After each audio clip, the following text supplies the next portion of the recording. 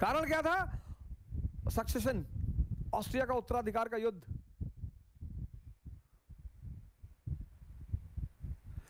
तुमको अपनी लड़ाई खुद ही लड़नी पड़ेगी। भले तुम्हारी दोस्ती भगवान से क्यों ना हो। अर्जुन की है तो? अर्जुन की है तो? तुम कभी चीज़ों को ध्यान नहीं देते ना? तुम्हारी गलती यह है।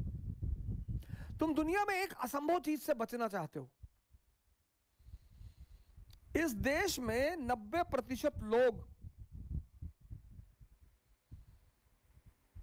एक चीज़ से बचना चाहते हैं। संघर्ष से। और बचोगे नहीं। राहुल गांधी जी बच गए थे। पिछले तीस साल से संघर्ष कर रहे हैं। नियम है सर, न्यूटन का चौथा लॉ है। वो भूल गया था, बताना। वो भूल गया था। तो एक दिन सपने में आया, हमसे कहा अवध भाई बता देना। हमने कहा, बता देंगे, ऐसी कोई बात नहीं, अब इतना आप इज्जतदार आदमी है, आपका इतना योगदान है दुनिया में। तो आप इतना कह रहे हैं तो इतना काम तो मैं आपका कर ही दूँगा। वो दाढ़ी वाड़ी रखे थे, अंग्रेज़ मॉडल में कैप वैप लगाए हुए थे। तो हमसे कहा कि गलती हो गई, हम बता ही नहीं पाए उस वक्त। अरे मैंने कहा, कोई बात नहीं सब छोटी मोटी बातें इतना तो मैं बता ही दूँगा लोगों ये न्यूटन का चौथा सिद्धांत है, शक्ति अर्जित करने के लिए संघर्ष करना पड़ेगा। दुनिया में कोई ऐसी टी शर्ट नहीं आती कि ऐसे लगा लो तो बल्ला दिखाई पड़ने लगे। वो डिप्स लगाना पड़ेगा। वो अगर चाहते हो कि बाहर निकले और लोग देखें हमारी बॉडी को तो कोई टी शर्ट नहीं आती कि सिक्स पैक वाली टी शर्ट आ गई। कि बाहर निकले तो सिक्स पैक दिखाई पड़ रहा है और बॉडी दिखाई पड़ रही है और लड़कियाँ गिर गई सड़क पर।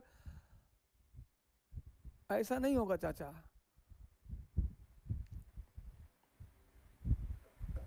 दुनिया में एक ही आदमी है जिसने बिना मरे जन्नत देखने की कोशिश की है। त्रिशंकु। सिद्धांत ना तोड़ पाओगे। बाहर निकलो यार।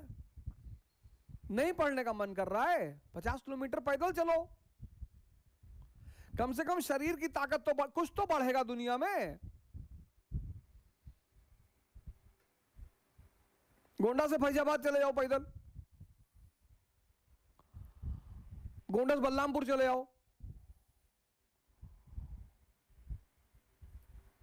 पढ़ने का मन नहीं कर रहा। है तो पैदल चले जाओ वो फैजाबाद गोंडा से।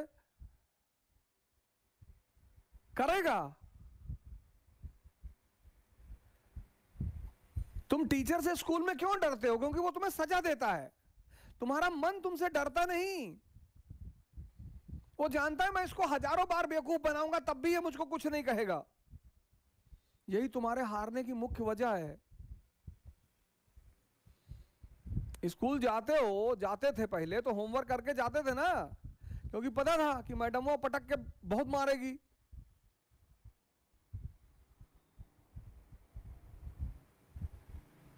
कैसे रोते थे टीचर के सामने? कि मैडम जी, रात में लाइट नहीं थी और लाइट कट गई, फिर हम होमवर्क नहीं कर पाए मैडम जी। तब पर भी मारती थी पटक के। हम तो कई बार पीटे गए डरते थे ना? तुम्हारा मन तुमसे डरता ही नहीं। भाई तुमको एक बार कोई बेवकूफ़ बनाएगा, तुम छोड़ दोगे, दो बार बनाएगा, छोड़ दोगे तो फिर वो लगातार बनाने लगेगा तुमको। वही तुम्हारा मन तुम्हारे साथ कर रहा है, तुमको लगातार बेवकूफ़ बना रहा है। आज अम्मा बीमार ही, काल भैंस भाग गए रही। परसों पानी गिरत है, पकौड़ी खाए मन करत है। बुआ खिया जाएगे तब क्यों रो रहे हो?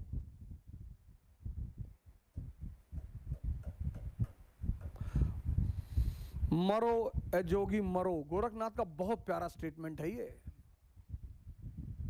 मरो, ए जोगी मरो। मरोगे तो मज़ा आएगा। ये देखो। सेंट थे उनका युद्ध हो गया। और सेंट